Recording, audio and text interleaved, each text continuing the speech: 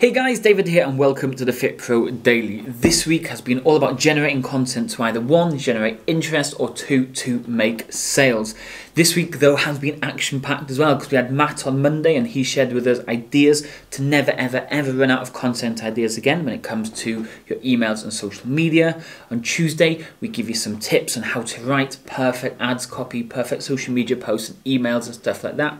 Wednesday was all about what was working for us. Today, though, I want to give you a foundational thing that's really going to help you out because if you kind of get this foundational step wrong, it's going to leave everyone a little bit confused. So yesterday we were talking about your branding, your color schemes, and all that type of stuff. Today I want to talk about a foundational thing, which is super, super, super key. By getting this one thing right, you're going to be having a lot more people interested in what you have to offer.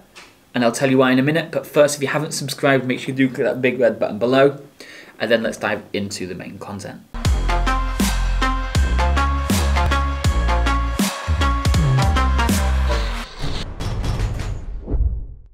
Okay, let's dive straight in. So yesterday we were talking about your branding, your color schemes, okay? The same type of image templates over and over and over again. So when you're sliding through your Facebook feed, you're going through your emails, you're going on the website and all this type of stuff, you know exactly who it is you're looking at. You're scrolling through, you see a Nike, and you'll know it's Nike instantly just because of the look and feel and design and everything like that, okay? You've got that sorted from what we talked about yesterday. So your images, your branding is all the same. Now today, a foundational thing I want to talk about is actually doing your social media, okay? So we don't want to just go all in for one week and then completely fall off the edge of a cliff because people will be wondering like, why is this person writing all these great posts and then vanishing off the face of the earth?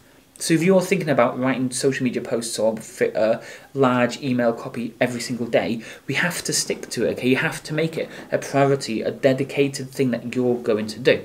If you're thinking, you know what, to be honest, I would really struggle to write it every day, then tell your users it's only going to be Monday, Wednesday, Friday. It's only going to be twice a week, okay? Because then you're not putting yourself under pressure to do something that you've promised the world. Because remember, these people are reading your content, they're getting to know you, like you, and trust you. If you keep letting them down, you've promised that you're going to email them every single day, you're going to do these amazing social media posts every day, but then you do it for a week and you have two or three weeks off, and then you jump back in again and you jump off, then you're not leaving a good impression for you, okay? It's harder to build that know, like, and trust. So, like these videos at the start of the year, I decided that I was going to do a video every single day, and we've more or less stuck to that. I think there's probably been about 10 days out of the whole year where we have missed a video or so, but we stuck to it. We've decided this is what we're going to do. So, a foundational tip if you are going to start writing big long form emails, okay, do the blogs, do big social media posts,